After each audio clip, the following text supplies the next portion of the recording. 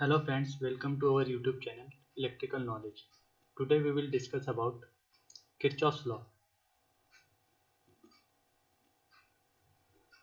Gustav Robert Kirchhoff, who is a German scientist, formulated these two laws which is named as Kirchhoff's first law and Kirchhoff's second law.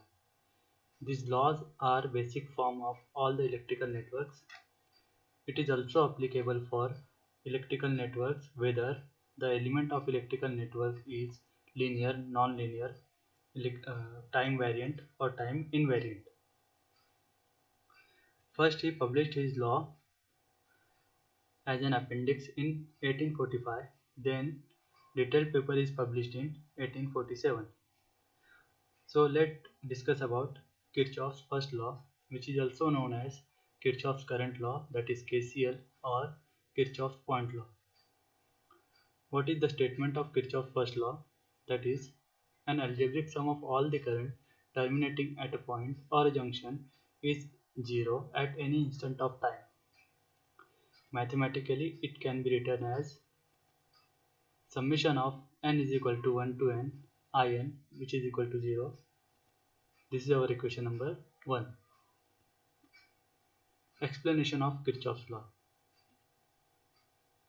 We are at term algebraic with sum because sign of quantity that is positive or negative taken in account according to direction of flow of current towards junction point or away from the junction point. Here is a diagram. There are five branches connected at point O which is named as junction point which carrying current I1, I2, I3, I4 and I5.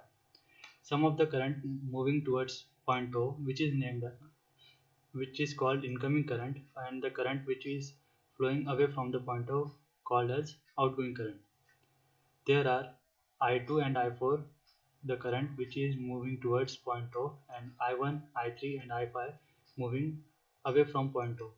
Let us assign the current which uh, moving towards point O as positive sign and assign negative sign to the current which moving away from point O.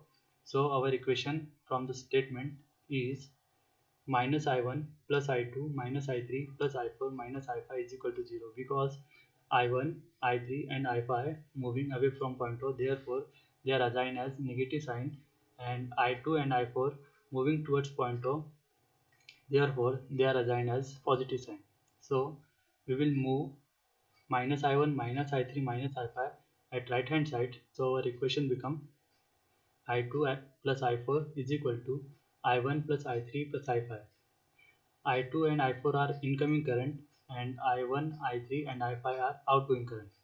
So we can be written as sum of incoming current is equal to sum of outgoing current.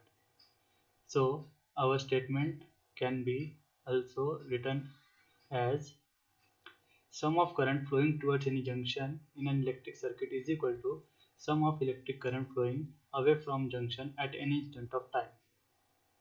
This is our second statement of KCL law. So friends, in this video, we are discussing about the KCL that is Kirchhoff's current law. In next video, we will discuss about Kirchhoff's voltage law. If you like this video, please like and share and don't forget to subscribe. Thanks for watching Jai Hind